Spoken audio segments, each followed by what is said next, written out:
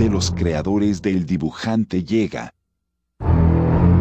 El dibujante COVID.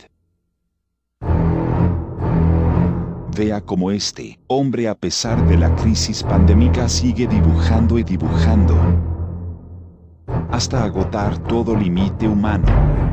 No se pierda.